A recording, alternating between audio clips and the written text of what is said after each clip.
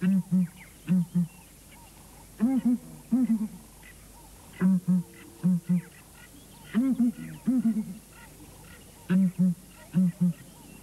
female ground hornbill is the head of a group of birds which seems to be one big happy family. However, below the surface, there is tension and intrigue, which affects the lives of every member of this strange dynasty of African birds. A survival special soon on ITV.